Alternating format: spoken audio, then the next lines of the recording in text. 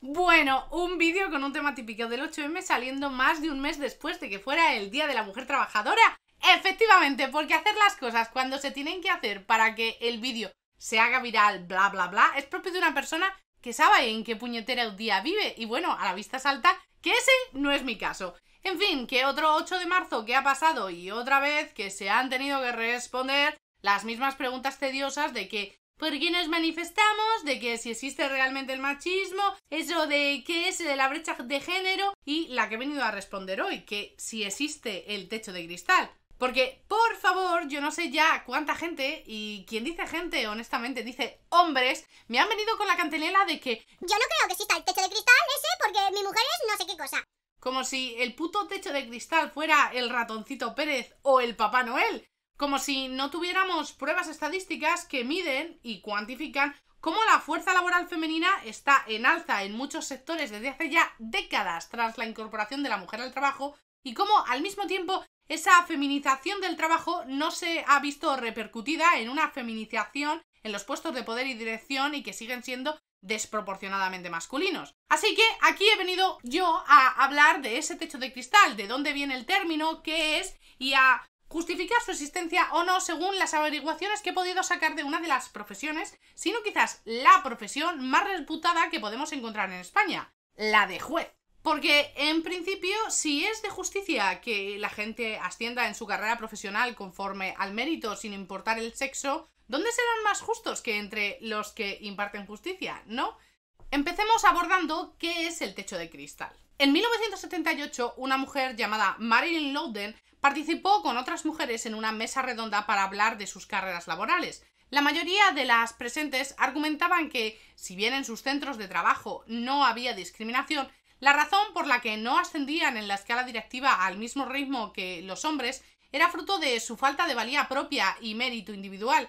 A tal situación, Loudon respondió que, viendo que la mayoría de las mujeres experimentaban las mismas dificultades para escalar, Debía de haber alguna razón más allá del mérito individual para explicarlo. De nuevo, el dilema típico sociológico que ya hemos visto en otros vídeos de este canal de lo particular versus la estructura. Así acuñó el término glass ceiling o techo de cristal, de modo que la mujer no ascendería por una falta de valía o de mérito particular, sino porque habría una barrera invisible y estructural a base de prejuicios y rasgos culturales que impedirían a las mujeres ascender en sus carreras como lo hacían las de los pares masculinos. Esta figura retórica de una mujer estrellándose contra un techo invisible para los hombres se olvidaría por ocho años hasta que The Wall Street Journal la recuperaría para un artículo y la metáfora cobraría notoriedad para ser foco de las políticas de cuotas de género.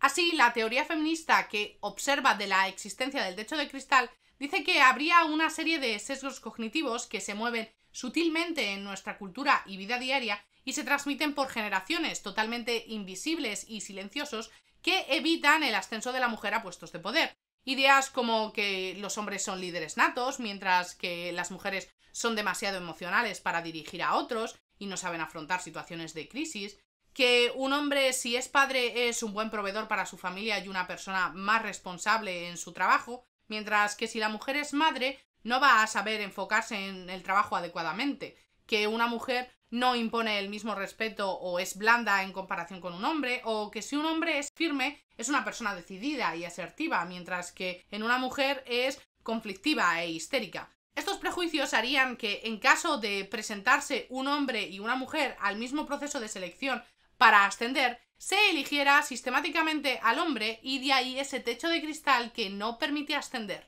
La versión estructuralista, no es una mujer en concreto la que no asciende por sus capacidades o mérito particular, sino en conjunto la sociedad por sus prejuicios hace que la mujer no ascienda.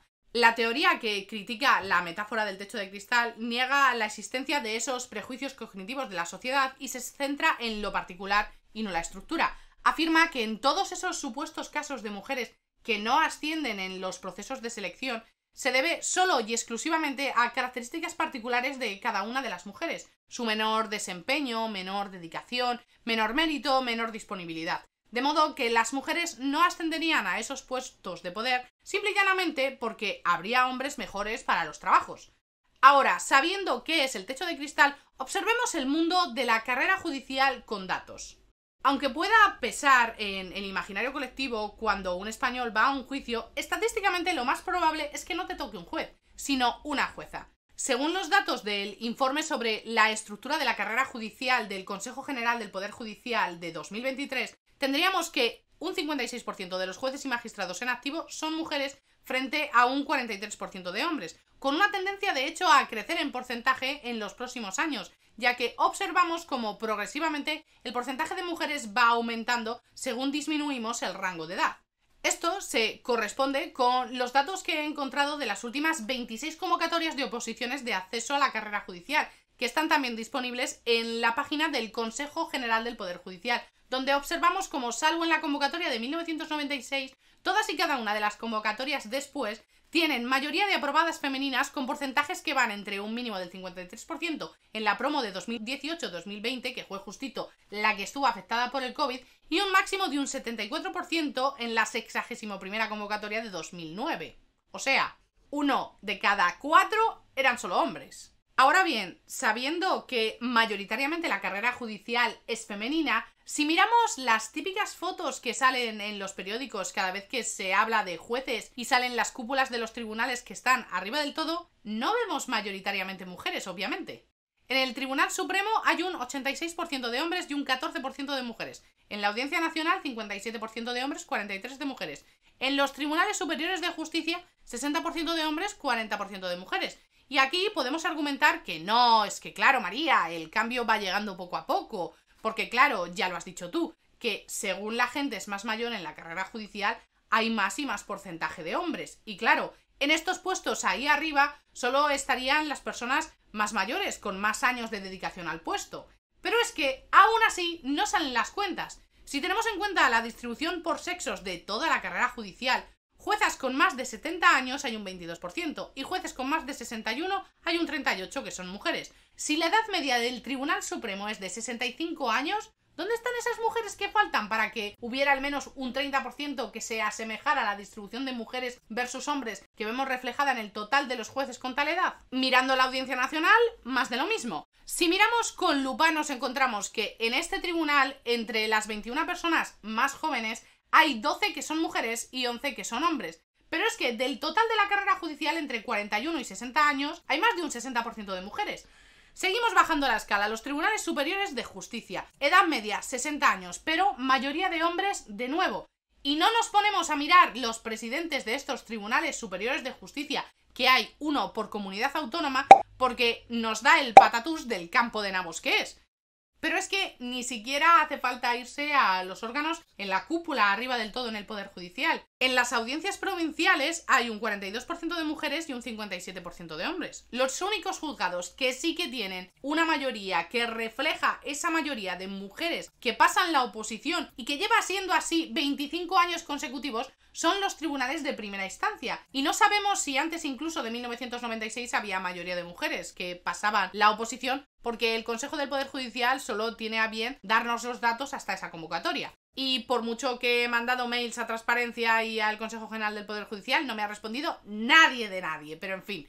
Entonces, ¿Dónde están todas esas mujeres? Para entender por qué, aunque hay un 56% de mujeres juezas, apenas se llega a un 30 o 40 en los órganos de la cúpula del Poder Judicial, habría que mirar la serie de datos agregados entre 2006 y 2023 de la carrera judicial, en el apartado excedencias voluntarias por cuidado de hijo o familiar.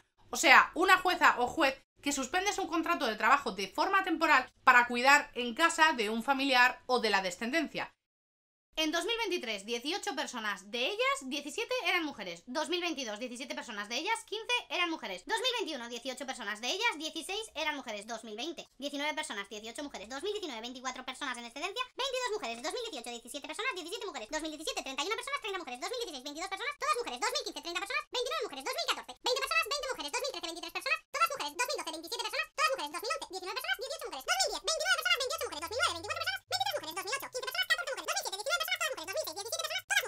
como en esta estadística solo hay columna de total y columna de mujeres, porque claro, no hace falta poner la de los hombres de todos los ceros que habría, ¿verdad? Y no, querido, esto no es que la mujer esté embarazada o que esté dando el pecho, no, eso se llama baja por embarazo y permiso de paternidad. Y va por otro lado. De nuevo, estos son excedencias de largo plazo que no duran menos de dos años y de media son cinco, que pueden ser pedidas por igual tanto por hombres como por mujeres, pero que año tras año son cogidas mayoritariamente por las mujeres para cuidar, mientras que todos los demás jueces hombres, que son un 43% del total de la carrera, apenas son un 3% en las excedencias para cuidar. Y hombre, Podemos pensar que los hombres jueces no tienen familiares para cuidar en casa, no tienen padres, no tienen abuelos, no tienen parejas enfermas o que no tienen hijos, pero parece poco realista esto, ¿no?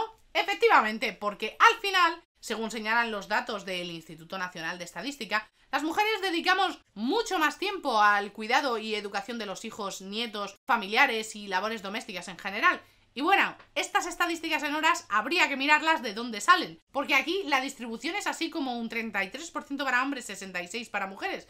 Pero en el caso de los jueces que se supone gente preparada, lista, coquitos, personas que han hecho la carrera de derecho y luego se han tirado 3 o 4 o 5 o más años estudiando para sacarse la oposición, el porcentaje no es 30-70, aquí estamos hablando de 97 a 3. Y claro, luego cuando se reincorporan las personas en excedencia, o sea, las mujeres, a sus puestos de trabajo, pues se tienen que poner al día con la nueva legislación que haya podido salir y tienen que volver a adaptarse a los ritmos del juzgado, han perdido literalmente años de dedicación a la carrera y en fin, pues que no se logra ascender en iguales condiciones ni a las mismas velocidades obviamente que una persona que no se haya pedido la excedencia. Y esto, señoros, es el techo de cristal. Quizás la figura metafórica de ese techo de cristal, como una mujer que se estrella contra una barrera invisible, no sea hoy la más adecuada y se haya quedado un poquito anticuada la idea, porque ahora sabemos que en gran parte lo que frena la carrera de las mujeres son los cuidados, tanto de familiares como de hijos. La carrera de las juezas y, de paso, de todas las mujeres trabajadoras se ve afectada porque hay unos roles de género que, más allá del embarazo, asumen que la mujer debe ocuparse desproporcionadamente del trabajo del hogar y del cuidado de la descendencia o de familiares. Y aquí los críticos del techo de cristal podrían decir no es que María, eso claro, lo han decidido las juezas por ellas mismas, libremente, porque bueno, el instinto maternal y que las mujeres quieren ser madres y lo hacen todo mejor y son de amar a sus familiares y dale una casa a una mujer y te hará un lugar y mira, en fin, de nuevo caemos en la trampa de la estructura versus lo particular. Un 97% de las mujeres juezas que se cogen una excedencia para cuidar, la cogen porque libremente quieren cuidar a otras personas o porque en la sociedad que habitamos la imagen de la mujer cuidadora es la típica. Porque una mujer que vuelve demasiado rápido al trabajo tras tener un hijo es señalada y criticada. Porque ¿cómo no va a ser una buena madre y aprovechar el tiempo libre que da la posibilidad de una excedencia en el sector público para estar con sus hijos? O dándole la vuelta a la tortilla, si solo un 3% de las excedencias para cuidados son pedidas por jueces hombres, ellos no tienen instinto paterno, no son buenos padres y valoran pasar tiempo con sus hijos, no quieren cuidar de sus familiares que se hayan podido poner enfermos. Atribuir que un porcentaje tan sumamente grande y desproporcionado como es que un 97% de las excedencias en la carrera judicial para cuidados sean de juezas mujeres es debido solo y exclusivamente a un deseo personal de esas mujeres de cuidar, sin ver detrás una lógica estructural de roles de género que impone a la mujer la tarea de cuidar, parece una lógica bastante perversa. Cuanto más si contamos de nuevo con que ser juez no es un trabajo cualquiera, no, requiere de mucha preparación y dedicación, y que, por tanto, el deseo de dejarlo para hacer una tarea que a muchos ojos es tan banal y ordinaria como cuidar, cambiar pañales y dar de comer, tiene que ser un deseo verdaderamente grande, o más bien una gran presión social, presión que aparentemente no afecta a los hombres jueces. Al final, el techo de cristal mm, es una metáfora que imagina las barreras que existen en la carrera profesional de una mujer por las que no tiene que atravesar un hombre. Quizás sí sea correcto decir que no existe un techo de cristal porque, por un lado, sabemos que no es invisible, son las labores de cuidado que recaen en demasía sobre las espaldas femeninas la mayor razón de que la carrera profesional de las mujeres se vea frenada. Y por otro lado, esta barrera no está localizada en un solo punto concreto y específico en el acceso profesional, porque la exigencia social de la labor femenina de cuidados no está en un momento preciso de la vida de la mujer y ya está, sino que se sostiene en el tiempo de modo continuado. Por eso quizás el techo de cristal como figura metafórica se haya quedado un poco desfasado y ahora da una idea o impresión equivocada. Y de lo que más bien ahora debemos hablar es de una escalera rota, The Broken Ladder, como un camino hacia el ascenso profesional que es más lento en el caso de las mujeres que en el de los hombres, porque a la escalera le faltan peldaños, se van añadiendo cargas y es más difícil de subir. Quizás podamos decir ahora que no existe ese techo de cristal invisible y localizado ya, porque hemos aprendido a verlo y ahora sabemos qué es lo que traba la carrera de las mujeres. Pero es gracias a que primero vimos ese techo invisible que hemos sido capaces de identificar y medir exactamente qué es lo que hace que las mujeres no accedan a esos puestos de dirección en igual medida que los hombres, a pesar de ya hacer décadas de su incorporación al mercado de trabajo. En fin, nada más que decir del techo de cristal o de la escalera rota. Me ha gustado mucho sacar esta reflexión porque creo que muestra cómo las figuras retóricas que usamos en el feminismo para hacer ver cosas que antes pasaban desapercibidas se van quedando obsoletas porque hemos avanzado y ahora comúnmente vemos esas cosas. Porque al fin y al cabo, si decimos que no existe el techo de cristal, es porque nos hemos puesto todos las gafas moradas y vemos que ese techo de cristal se ha convertido en una escalera rota. Y eso, pues mola. Bueno, nada más, que ya se me está quedando muy largo. Muchas gracias por escuchar como siempre. Ya sabes, suscríbete, compárteme, bueno, pues eso. Y ¡ale, chao!